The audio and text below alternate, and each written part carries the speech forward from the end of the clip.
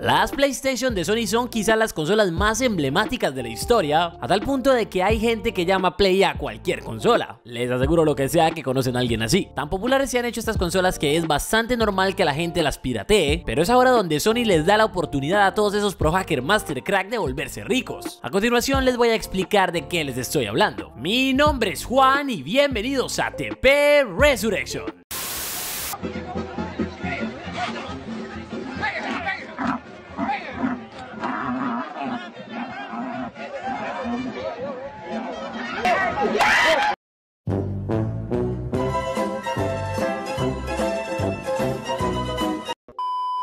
PlayStation anuncia un programa de recompensas de errores, el cual podría pagarte desde 50 mil dólares en adelante si logras hackear una Play 4. 50 mil dólares es algo así como 1.134.000 pesos mexicanos, 186 millones de pesos colombianos o 175 mil soles peruanos, un montón de dinero. Dinero que Sony te podría llegar a pagar si encuentras un error crítico en la PlayStation 4. Ya estoy viendo a todos los pro hacker master crack que chipean consolas buscando cómo volverse ricos con las recompensas de Sony. Si es que hasta yo estoy que dejo de hacer videos y me pongo a buscarle fallos a la PlayStation. Pero pues en caso de que no logres encontrar un error crítico, que es lo más probable, por uno de alta gravedad te podrían dar más de 10 mil dólares. 10 mil dólares es el equivalente a más o menos 227 mil pesos mexicanos, 37 millones de pesos colombianos, como lo que gana un senador, o 35 mil soles peruanos. Con ese dinero te podrías comprar 10 iPhone 11 Pro Max o un auto nuevo, de gama baja, pero nuevo. Y todo por encontrarle un error a la Play 4. Pero bueno, siguiendo con el programa de recompensas, por un error de gravedad media te podrían pagar 2.500 dólares, que es el equivalente a más o menos 56 mil pesos mexicanos, 9 millones de pesos colombianos u 8.700 soles peruanos. Igual no es una fortuna, pero es 10 veces más de lo que se gana la mayoría de gente en un mes. Así que sirve, no sé, para comprarte un helado